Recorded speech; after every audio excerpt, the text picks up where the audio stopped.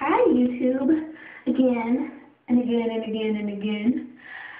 Um, it's me Ashley. I have not been on YouTube in a friggin' long time and it's because, well, I don't know why, I just haven't been on YouTube. Um, I kind of actually forgot had a YouTube. But today I was on YouTube and I thought I'd look at my YouTube channel. Well, my finger's just real big in the camera, or whatever is that in my finger. Um, and I saw that a lot of you gave me feedback on my videos, and um, I loved it. I loved all the feedback and stuff, so I decided to make a video to check in, let you guys know I'm still alive, but um, you can follow me on Twitter at Ask for Ashley, and yeah, there's nothing really to be updated. I'm in um, West Covina right now for my summer with my dad, um, you know, just here, chilling, big chilling.